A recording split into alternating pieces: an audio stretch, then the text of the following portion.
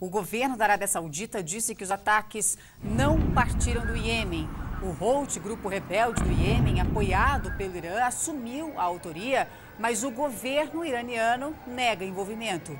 E depois de afirmar ontem que havia evidências de que as armas é, partiram do Irã, hoje o presidente Donald Trump não acusou diretamente o país. Trump disse que o Irã parece ser o responsável pelos ataques. O presidente americano também deixou claro que quer evitar uma guerra. Já o líder supremo do Irã descartou qualquer tipo de negociação com os Estados Unidos.